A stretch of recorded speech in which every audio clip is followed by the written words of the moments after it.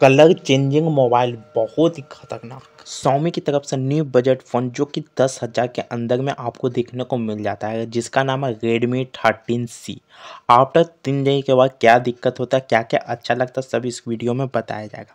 तो Redmi thirteen C के बारे में सब बातें जान लेंगे कि तीन दिनों के बाद क्या दिक्कत होता है, क्योंकि इसको मैं प्राइमरी डिवाइस के रूप में काम कर रहा हूँ। इसमें आपको सबसे पहले कलर चेंजिंग फ़ोन टाइप में लगेगा। लाइट के अकॉर्डिंग मतलब हर जगह अलग अलग दिखता है तो सबसे पहले इसकी अनबॉक्सिंग की बात कर लेते हैं। तो रेड बॉक्स में आपको देखने को मिल जाएगा। जिसके पीछे स्पेसिफिकेशन और फीचर के बारे में थोड़ा थोड़ा लिखा हुआ भी रहेगा। सबसे ऊपर मिलेगा फ़ोन इसको हम साइड में रख देते हैं। इसके बाद आपको सिम इजेक्टर मिल जाता है। कुछ कागजात आपको देखने को मिल जाता है।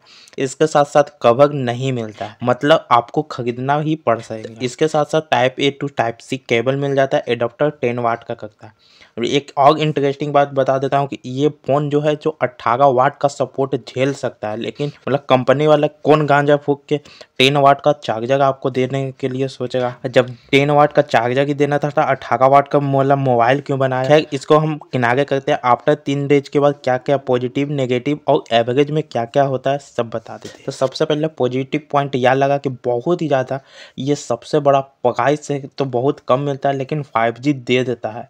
और जो कि दोनों सिम में एक साथ फाइव चला सकते हो दोनों में।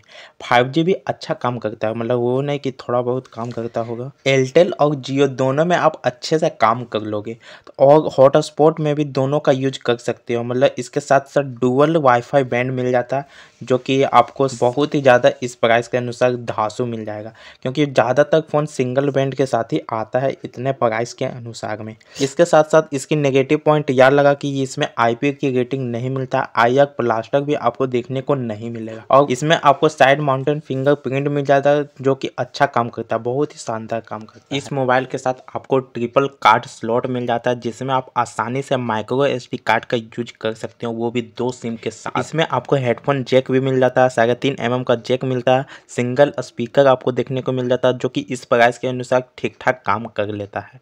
और इसका सबसे नेगेटिव पॉइंट ये लगा कि ये पुराना मॉडल हम्म। के साथ ये आपको देखने को मिल जाता है मतलब नॉच मिल जाता है और मोटा मोटा बेडक किनारे में मिल जाता है जो कि मुझे थोड़ा बद्दा लगा इस प्राइस के अनुसार। यही मोबाइल की अगर स्क्रीन की साइज़ की बात करें तो 6.7 इंच के आपको देखने को मिल जाता है 90 हज का रिफ्रेश रेट मिलता है और इसके साथ साथ एच प्लस में आपको देखने को मिल जाएगा क्वालिटी के। गोगिला ग्लास भी थ्री का प्रोटेक्टन दिया गया है जो कि बहुत ही ज़्यादा इस प्राइस के अनुसार अच्छा मिल जाता है। 600 सौ नीट्स का ब्राइटनेस मिल जाता है, आपको बाहर में थोड़ा बहुत दिक्कत हो सकता है, क्योंकि इस प्राइस के अनुसार यहीं तक सीमित है।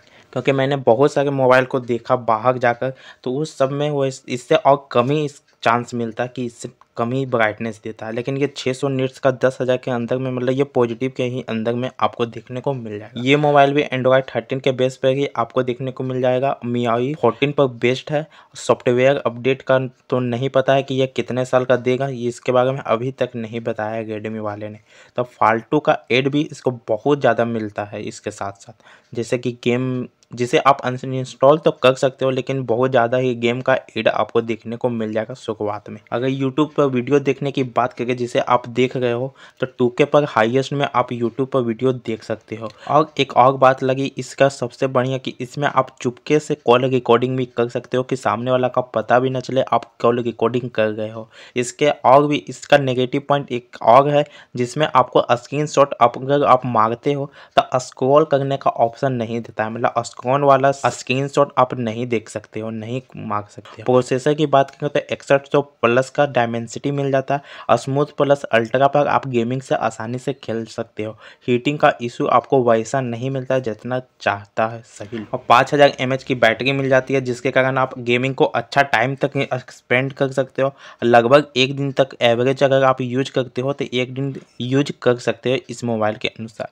यही अगर हम कैमरा की क्वालिटी की बात करें तो पचास मेगा का का एक कैमरा मिलता है दूसरा कैमरा की औकात किसी तरह का मेगापिक्सल का नहीं होता है क्योंकि अगर कंपनी वाला एक कैमरा के साथ आपको देखेगा तो मतलब बहुत कम ही चांस है उसका बिकने का। इसलिए दूसरा कैमरा भी आपको फ्री में दे देता है। और फ्रंट कैमरा की बात करें तो पाँच मेगापिक्सल का कैमरा मिल जाता है, जो कि थर्टी एफ़ एक हज़ार अस्सी पर आपको देखने को मिल जाएगा वीडियो की रिकॉर्डिंग पर। तीन दिन में वैसा फीलिंग तो वैसा पता नहीं चलता है कि आखिर कैसा मोबाइल है, कैसा फीलिंग करता है मतलब कैसा रहेगा दस हज़ार के अंदर में।